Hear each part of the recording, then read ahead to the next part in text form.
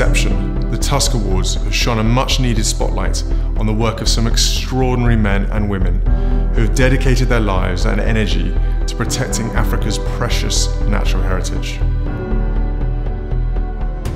10 years on, there's no doubt in my mind that we have hit upon something which is incredibly valuable and important to be able to show the world some of the amazing work and people that are working in conservation across the continent.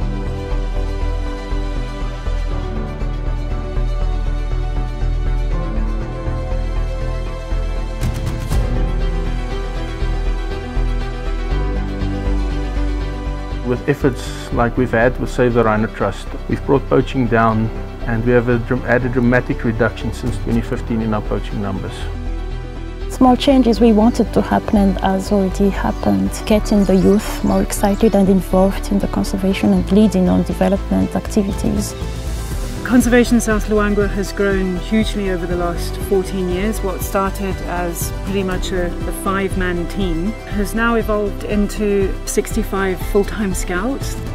We don't have any option but to make sure that we do intensive and extensive stakeholder collaboration, stakeholder engagement, and that is really what has brought us to this point.